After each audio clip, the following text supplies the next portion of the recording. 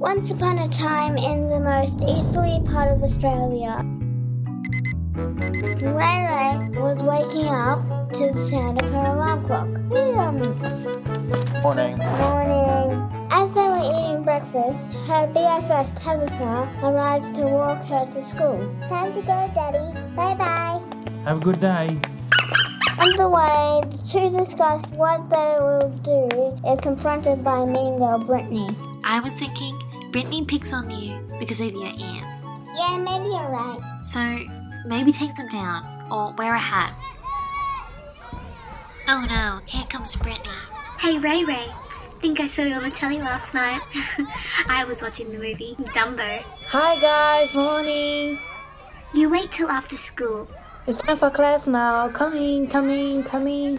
Our teacher, Miss Sylvia, immigrated here from the Inca civilization in South America. You'll learn some fascinating things about the past.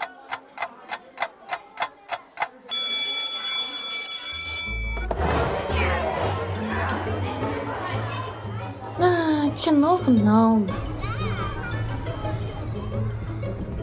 We have some unfinished business. Run, Rae Rae, run! Brittany chased Rae Rae down the street, through the bakery, through the daycare center for babies,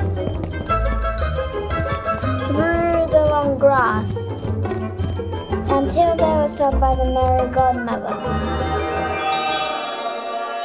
You girls stop quibbling this instant. Everyone is perfect the way they are. Now, apologize. The Mary Godmother's right. I'm sorry, Rae Rae. That's okay. That's it, girls. Hug it out. Now, head on home.